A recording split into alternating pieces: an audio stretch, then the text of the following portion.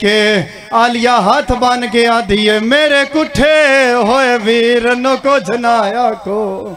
ਹੁਣ ਮਾਤਮ ਬਣਦਾ ਹੀ ਨਜ਼ਾਦਾਰ ਹੁਣ ਲਾਜ਼ੇ ਦਾ ਮਹਿਮਾਨੇ ਵੈਣ ਕਰਕੇ ਆਧੀਏ ਇੰਦਾ ਖੇੜਾ ਵਾਰਿਸ।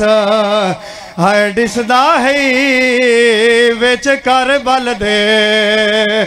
میدان علیہ رو گیا دیا انمات اکبر دیکھا گئی۔ اند ٹور گئے پتر جوانے۔ آپ مر ویسی ہن لازے تائیں۔ اندہ تھی گیا بون نقصان۔ مالک اللہ میں نصیب۔